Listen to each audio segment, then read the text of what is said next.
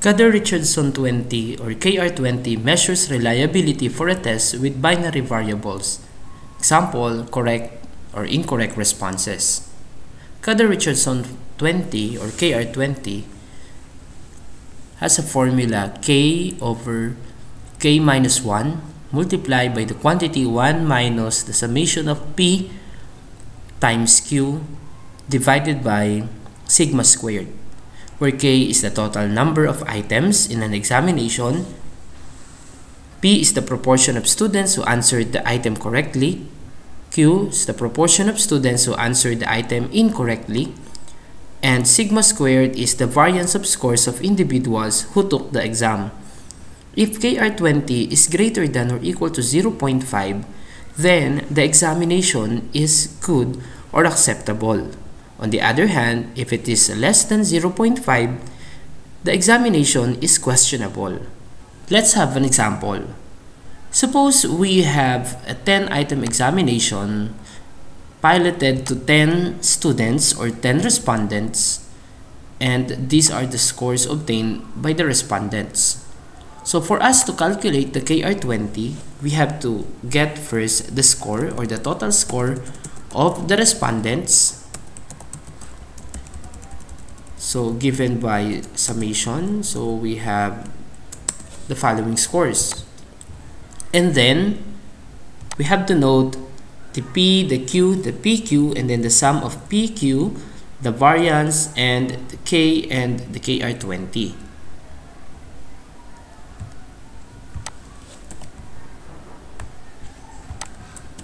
given the formula of Kuder-Richardson which is K over k minus 1 times the quantity 1 minus summation of pq over the variance, let's calculate p.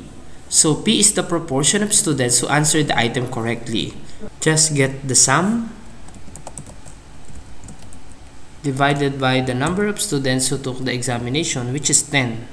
And this is the proportion of the, the respondents or students who answered the item correctly and to get the proportion of students or respondents who answered the item incorrectly, just subtract P from 1. And then these are the proportions of students who answered the item incorrectly. And then to multiply them, just multiply P and Q. and these are now the products. Then let's get the sum of P and Q. That is 1.04 to get the variance of the score so variance of scores of individuals who took the exam just use equals var dot s. And then highlight the individual scores and this is now the variance of the scores of the respondents or students. K is the total number of items and as we can see we have 10 items in our examination. So this is 10 then let's apply the formula. That's K which is 10 divided by K plus 1 K minus 1 multiply by 1 minus summation of PQ divided by the variance.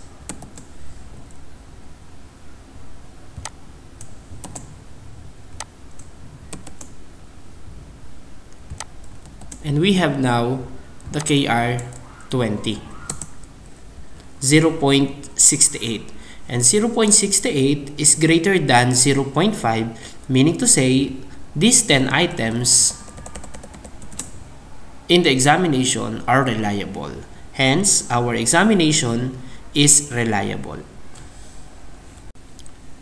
In the event that after getting the Kuder-Richardson 20 value and found out that KR20 is not reliable, the researcher's task is to review again the instrument or the questionnaire or the examination and check uh, the individual items and make some revisions. Now, let's have a review. So once again, given this 10 item examination piloted to 10 respondents, to get the Kuder-Richardson to determine the reliability of the instrument, first we have to get the sum or the total score of each student or respondent. We have to check the proportion of students who answered the item correctly for each item divided by the total number of students who took the examination. Do the drag and drop. Then, let's get the proportion of students who answered the item incorrectly by subtracting p from 1.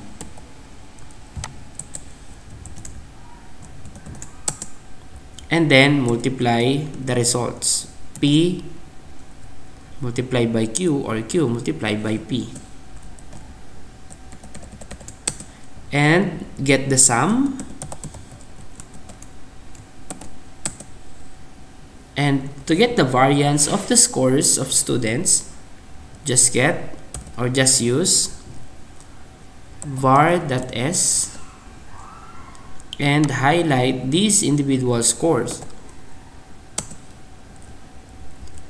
and k based on the KR20 formula is the total number of items here we have 10 and we can apply now the formula. So we have k divided by k minus 1 multiply by 1 minus the summation of pq divided by the variance. And here we have 0.68 value of our KR20 which is considered acceptable or reliable. So this is acceptable because this is greater than 0.5 threshold value. Now it's your turn. Calculate the KR20 value of this 10 item examination piloted to 15 respondents.